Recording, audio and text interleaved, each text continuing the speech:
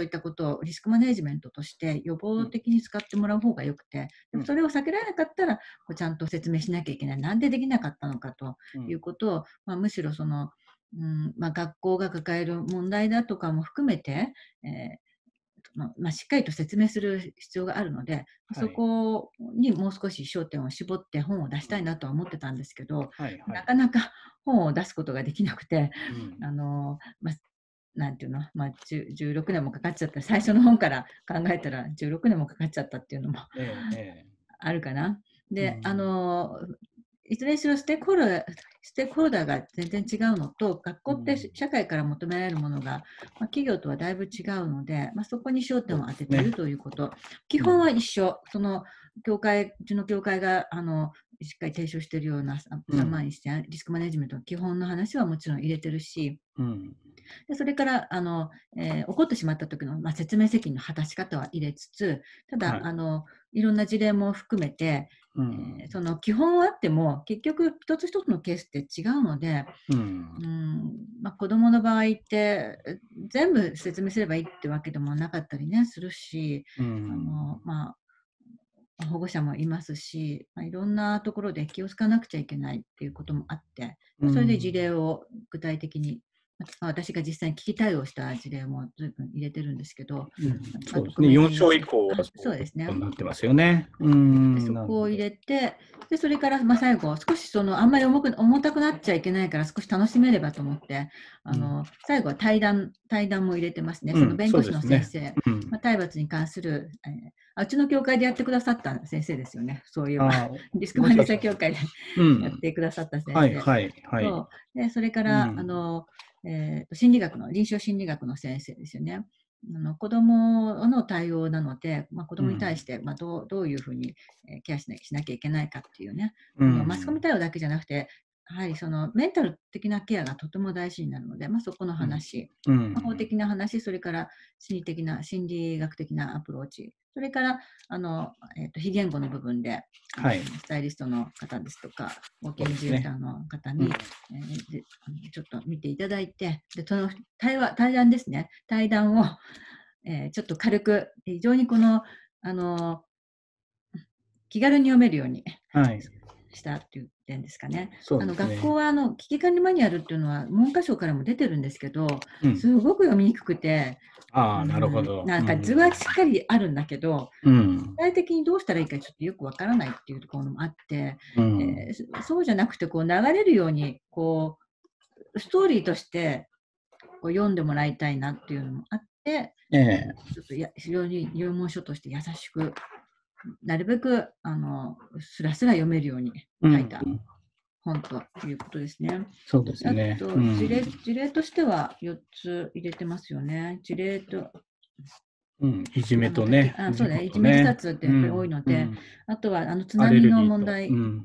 アレルギー は、これ実際私が教育員として担当したこともあるので、これと、あとは LGBT というか、非常に現代的な、あの問題ですよね。そうですね。うん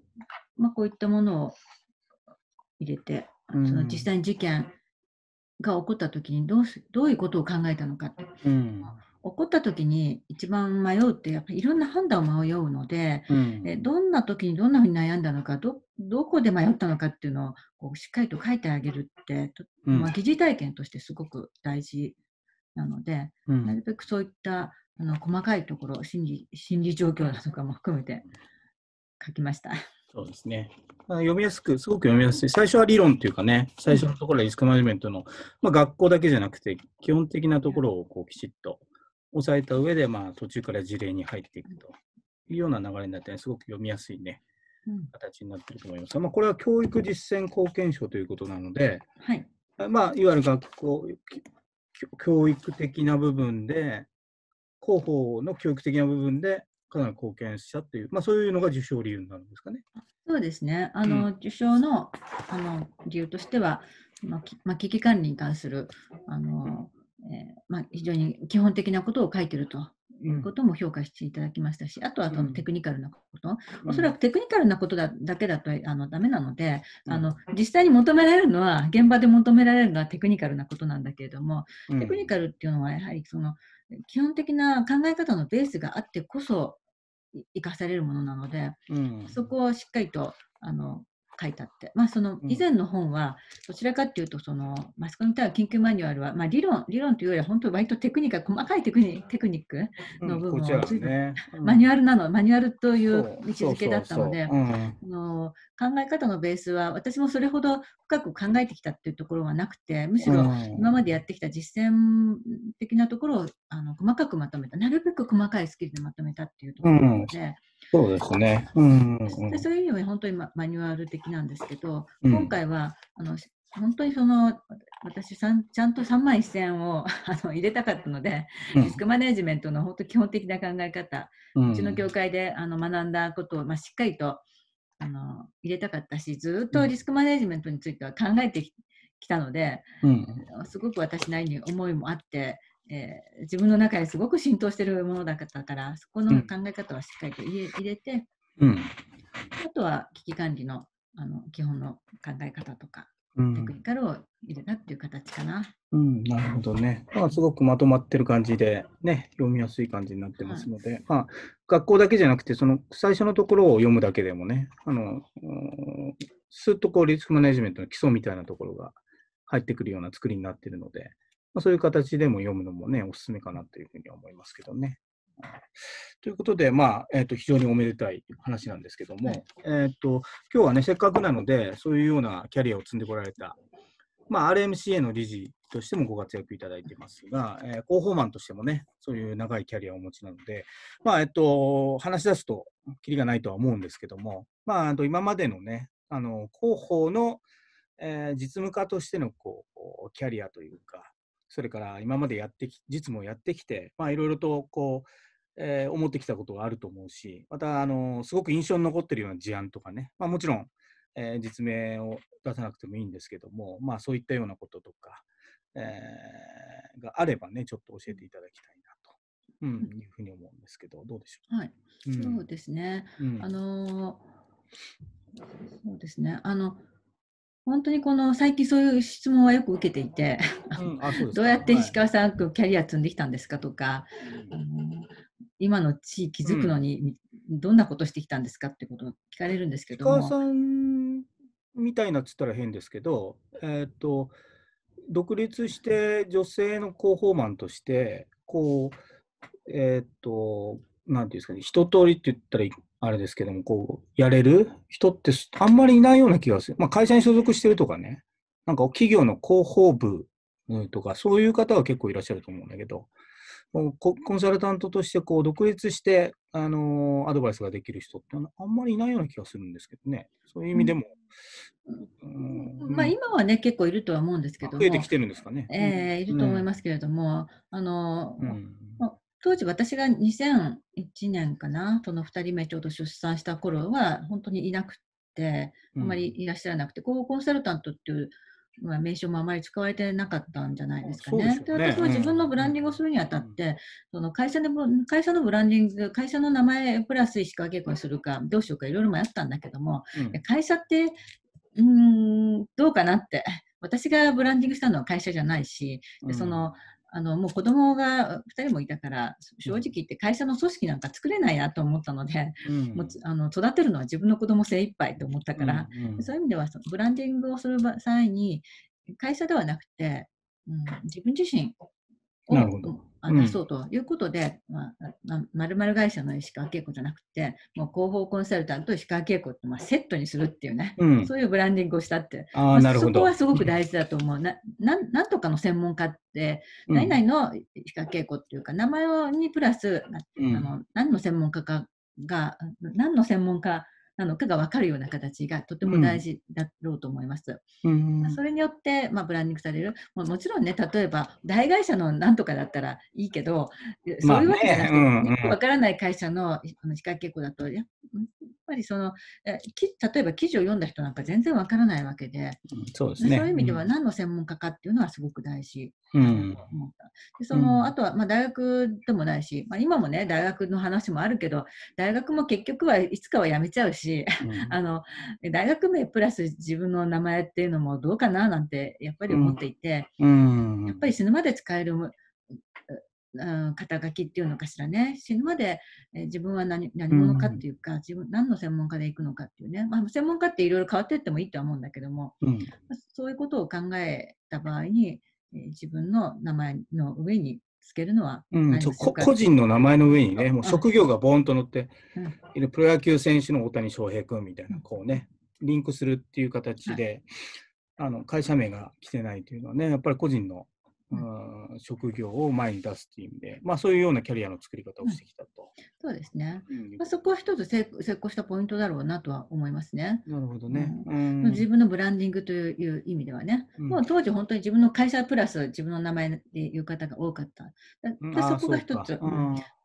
でそれがあの、まあ、これから目指す人にとってはまずそこは大事だろうということと、あとはその中身ですよね。そのうんまあ、その会社だと、組織だと、組織の運営っていうのがあるから、まあ、その私も前は1995年から5年間ぐらいは、組織運営はね、してたわけ。あの小さいんだけど、うん、あの5、6人のあの会社のマネージャーやってたんだけども、本当に大変で、本当に大変で、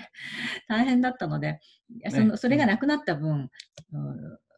どういうふうに時間を使おうかなと思ったときに、うん、もっとこのサービスの質を高めたい。どうしても会社っていう組織になると固定費がすごくかかってしまうので、そうですね、うん、あとは育成ですよね、うん、の。自分自身が勉強する時間があまりなかったっていうのが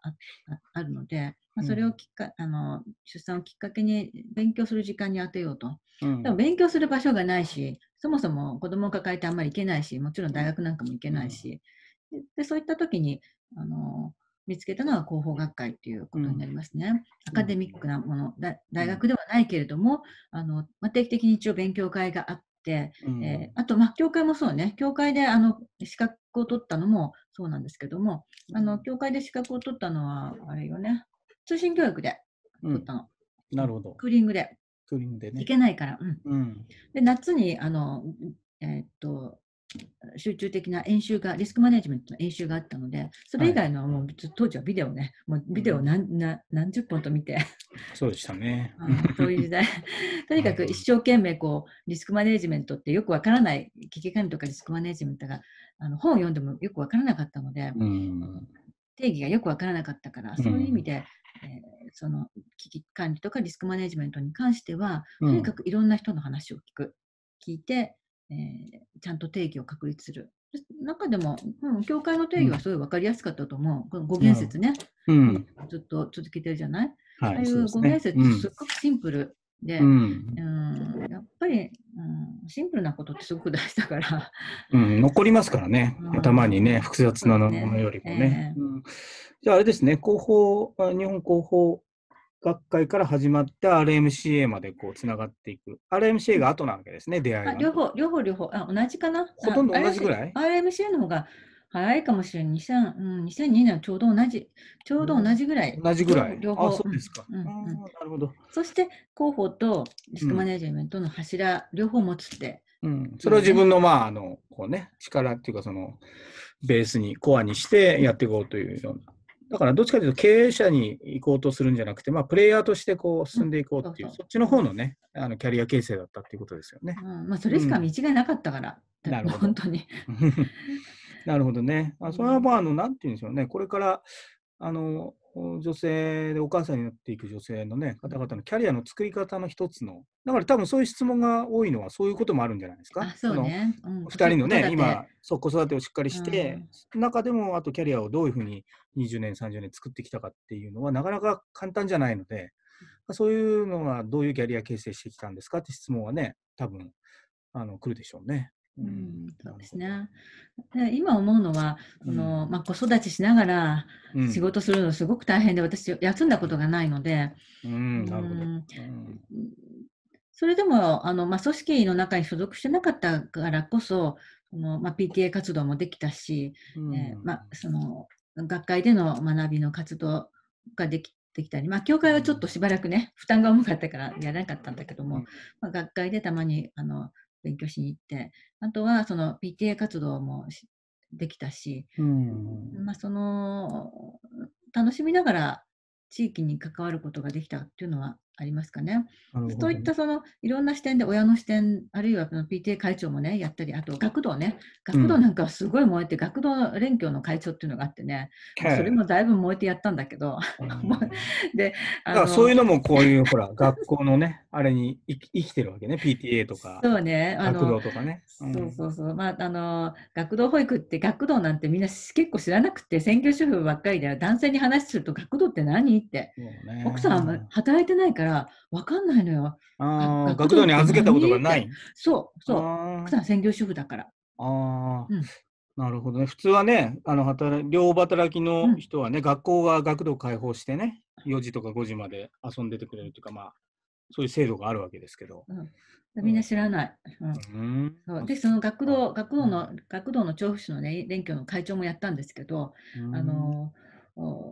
でね、結構ね、連連挙とかって、その割とその、まあ、左翼的っていうか、すごい動員がすごくて、結構すごいんだけど、はい、私、学童連挙の会長をやった後に、まあ、教育委員、まあ、PTA 会長やって教育委員やったんだけどね、まあ、PTA 会長になるとなんかいきなりまた世界が変わるわけ。連協の会長ってやっぱりね、そうそう割とね、本当左翼的なね。まあ、まあ、私は全然左翼じゃななかったんだけども、なんかこの、あ熱い感じのね、すごく熱くて、そして PTA 会長になると、ちょっと世界が違うってね、なんかこの PTA 会長になった途端に、なんかこう、あ、石川さんみたいな、なんかね、なるほど。が変わるって。へ注目のされ方が変わ変わってね、うん、あのなんか不思議だなっていう感じはしたけどね。へえ、まあ、あの世界が会長っていうとね、なんか偉い偉い人って、まあ一般的にな、なんかそんなイメージがね、あるよね。そう。そうそう全然私としては学童連携の会長、PTA 会長もあんまり変わんないっていう思いでいたんだけど、なあの実際行くと、介護とか行くとね、もう全然この雰囲気がもうガラッと変わるっていう、すごい不思議な体験をして、うん、そういうのがまあね、こう学学校の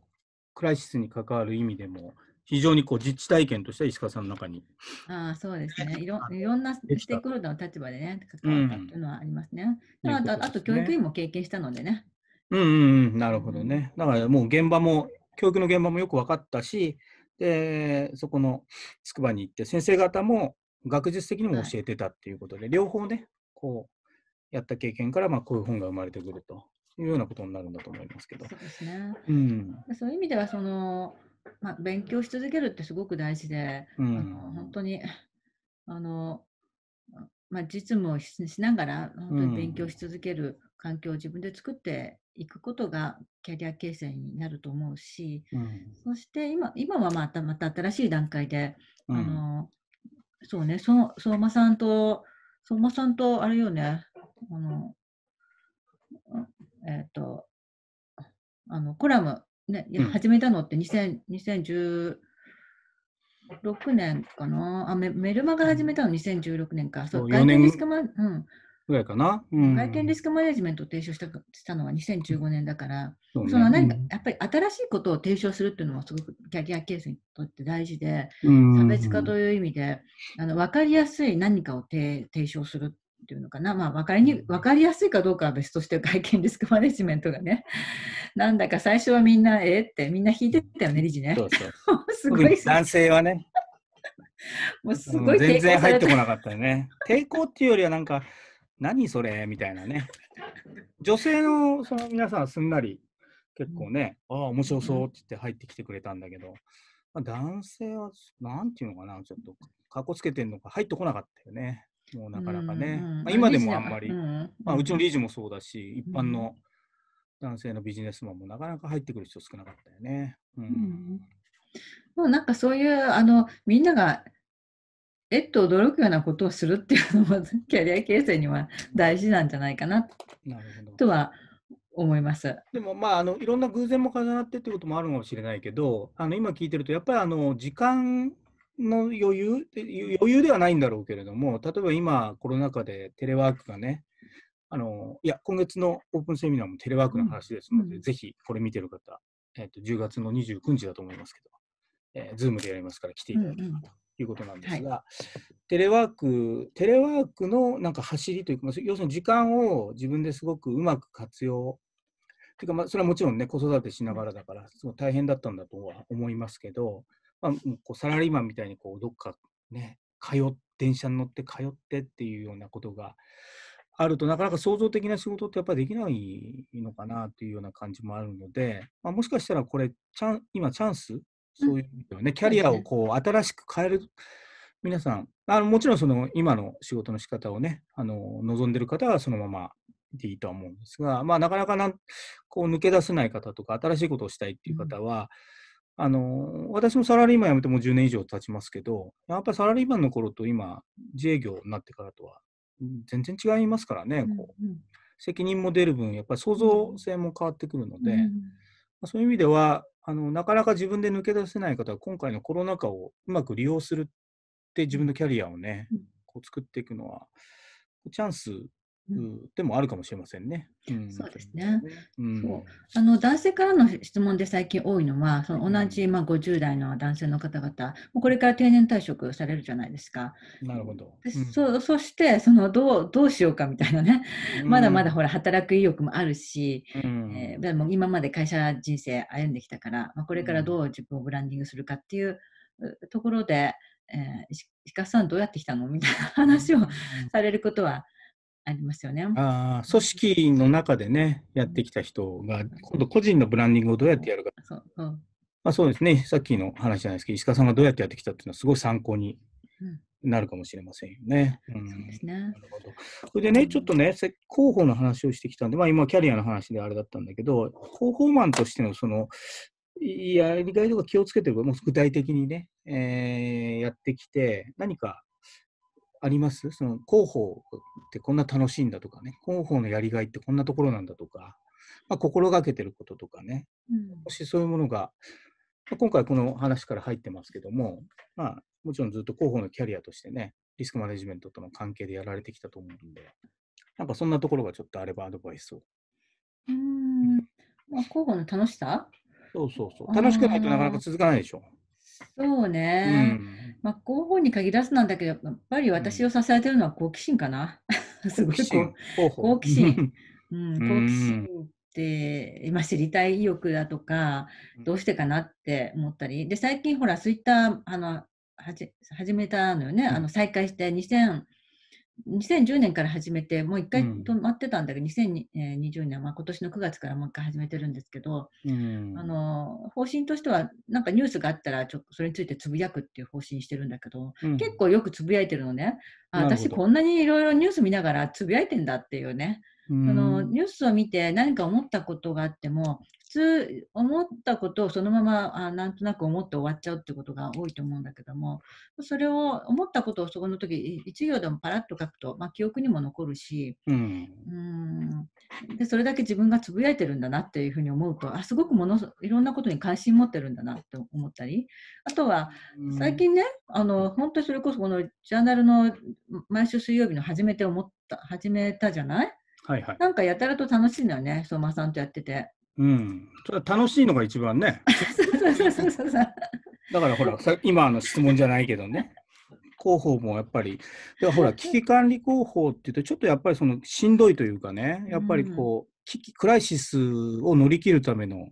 仕事だから、なかなかそう笑ってやれる仕事でもない部分がある。でもまあずっと続けてきたのは何かね、こうやりがいみたいなのがあったんだろうなと思ったから、ちょっと質問したんだけど、ね。そ、それは多分ね、まあ、議論したり、うん、あのぶつかることがあの全然苦痛じゃないっていうことかな、おそらく。議論も楽しい、まあ、広報学会でも本当によく議論してきたし、うん、議論することによってあのものすごい鍛えられてきたような気がする。自分の意見を持たないと議論ができないから、参加するためには自分の意見を持たなきゃいけないっていうことですよね。うん、で、ね、そういうふうにこうか意見を持つためには考えなくちゃいけないし、考えるためにはいろんなものに関心を持たなくちゃいけないっていうね、受け身だとね、意見が言えないんですよ。だから、そういう意味ですごく知識欲も湧いてくるし、あのちゃんと整理して話そうと思うし、そして、まあ、こういうジャーナルも含めて、まあ、相馬さん、相馬さんもすごく知識も豊かだし、必ず意見持ってるじゃない？合わ、うん、私と合わないこともよくあるとあるんだけど、合わないけど意見あるから、そこがね、楽しいんだと思う。そしてその何か起こった時も、うん、起こった時は何かクライシスが起こった時って意見対立なのよね、あある意味。ね、そうですね。うん、あのいいろいろなその公表するとかしないとか、もう、うん、あの俺は言っていいとか悪いとか、みんな思惑があって、うん意見がぶつかるわけ。うん。でそこの意見をぶつかったところをお普通の人は嫌だなと思っちゃったりするんだけど、うん私全然嫌じゃないのねそこはね。ああ、なるほど。だからそこは何か起こった時ってものすごくこのハッスルしちゃうっていうか、まあ、なんかこうの乗り越えるこう意欲がみたいなものはものすごく私の中に闘争心みたいなのがきっとあるのかもしれないけど、そういうあの乗り越えたら絶対成長できるっていう確信があるのでうん。でそのおでもその時に大事なのは単なる議論じゃなくてやっぱり何か軸を持たなくちゃいけない、うん。リスクマネジメントとか危機管理とかリスクマネジメントの本質が私の中にすごく入ってるのね。もうずっと考えてきたから。うん。すごく軸として入ってるから。そこのあうんの絶対的な確信があるので、そこで、うんあのまあ、議論してもあの全然平気だし、うん。最後にね、コンサルタントとして心がけてるも最大のことは、うん最後の判断は絶対経営者にやってもらうってこと。なるほどね。うん。で自分の意見は、ねうんそうあの自分はこれじゃないなと思っても、うん最後に判断するのはその経営者だから、マネージメントそうだから、私たちは私たちが判断しちゃいけない。うん。これはね、あの結構ね、えっと、本当に最後に大事にしなくちゃいけないことなので、絶対自分の意見をお押し通さない っていうこと。で、いろんなあのこ A, A を選択したらこんなリスクが波及があって、B を選択するとこうなってってい全部出すんだけど、うん。えーで私はもちろん A がいいと思うんだけども、うん。でも最後に判断するのはあなたですよって、校長先生ですよ、あの社長ですよって必ず全部向こうに投げて、うん。そし、て判断してもらうっていうことをする。うん。そうしないと、結局、うんあの石川さんに言われたからとか、あうん。の逃げ工場にもなるしね。そう,、うんそうそうで。それがね、やっぱり会見で出てしまうのね。なるほど。うん。だからよくほら、弁護士に言われたからとかってうんいう人いるありますよね。うん。うん。うんああいう言葉を絶対出さないためにも、自分が判断したっていうふうに持っていかなきゃいけない。うんそうですね。なんか、こう、他人事みたいに会見するようなね、うん。あのー会社の人とかも結構いますよね。うん、なんか、私は知らなかったとかね。まあ、そういうんじゃ、うん、いけないんですよというようなことも含めて、まあ、アドバイザーですから、ね。ですから、アドバイザーとしてはできるけど、その会社の意思決定はできないわけですから、意まあ思決定はリーダーの仕事。うん。意思決定はリーダーの仕事。うん。はいリスクマネジメントどうするのってことよ。そうそうそうそう。リスクマネジメントで一番大事なのね、意思決定意思決定意思決定ね。はい、リスクを取るってことじゃない？そうそうそう。取るのかどうするのかっていう、うん。その意思決定をするってことがまさにリスクマネジメントそのものなんで、まあ、経営者にはそこは分かってほしいということで、まあでも議論が好きっていうのはね、まあみ石川さん見てればよくわかるけど、そう。あそれがほら、なんていうの？やっぱりに逃げて、いや、嫌だなーって思う、あーなんか失敗したら嫌だなーっていうかね、危機の場合も、逃げたいなっていうのがあるんだろうけど、やっぱりそこをこう乗り越えるた楽しさみたいなのが、やっぱクライシスのその時の場面、まあその、その場面自体はすごく深刻なんだろうけれども、うん。まあいろいろその現場の人たちのヒアリングをして、それを乗り越えていくために議論をして、積み上げて、次のステップに行くっていうこと自体を楽し楽しめるというかね、まあそういううー性格というか、そのキャリアというか、があるから、まあ、積み上げてこられたんだろうなという気がしますけどもね。うんそううんなかなかできるようでできない。なるほど、なるほど。まあ楽天的だからじゃない？私は。まあ意外とあれかもしれないですよ。リスクマネージャーって楽天的じゃないとできないのかもね。そうね、それはそう思う。うんあの意外と。頭いいとか、結構こう切れ味がいいってリスクマネージャーいるけど、結構深刻になっちゃうと、うんうんあのそうだ人がね、できることなんて限られてるわけだから、うんやっぱ乗り越えられるか、乗り越えられないことだってあるわけじゃない？そう、あの判断ね、間違っちゃうこともあるの。でもあるからねね、それをね、うん受け入れなくちゃいけない。そううんそう。そうすると、ま人間はあ間違うこともあるから。深刻に考える、考えすぎると、こう、やっぱり止まっちゃうもんね。うん思考も止まっちゃうしね。うんなるほど、なるほど。うん。そういうようなあことで、広報マンとしてやられてきた、まあ、はい。一つのね、けあの、なんていうんですかね、成果の一つとして、まあ、今回もこういう、えー素晴らしい賞を取られて、うちの協会の理事でもいらっしゃるので、非常に名誉なことだというふうに思いますので。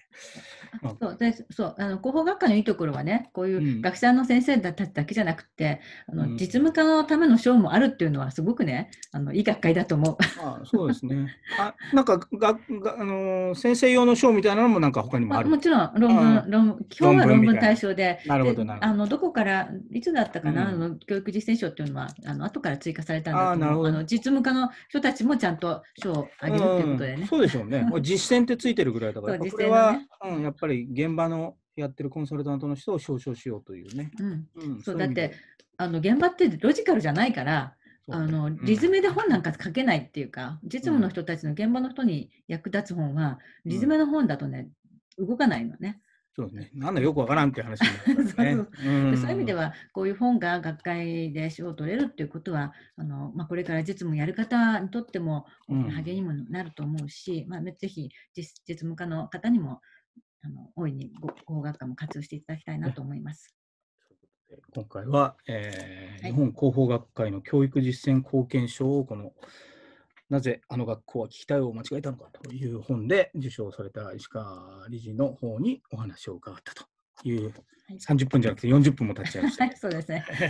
すいません。じゃあ一応今回のジャーナルはこういうことで、はいまた来週水曜日ね、えーやろうと思はいいますので、ありがとうございました。ということで、参加いただいてた皆さんもこの夜遅く、